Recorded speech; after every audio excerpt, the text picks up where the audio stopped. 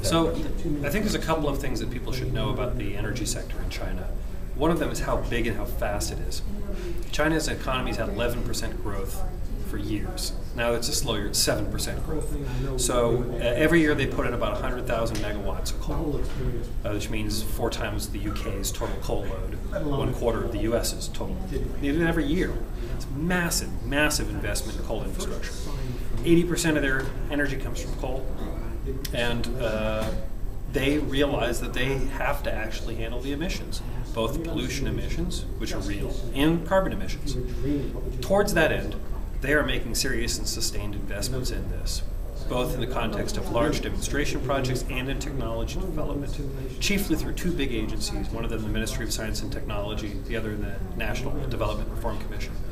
But uh, those uh, investments involve some of the biggest companies in the world and some of the biggest CCS projects anywhere. Uh, they are very serious about it and they're moving very, very swiftly. Um, so I think it's entirely credible to believe that they will be the demonstrated global technology leaders in a very short amount of time.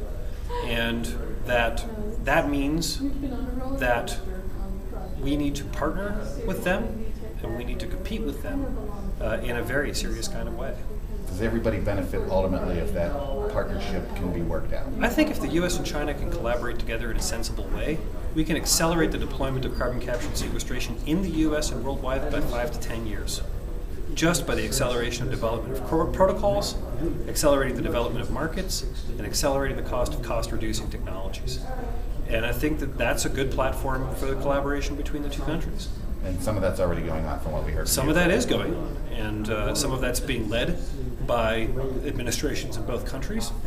Some of that's being led by business leaders in both countries. Um, but I think, uh, like any serious program, it is going to require uh, sustained focus and a sustained investment to really get those benefits out.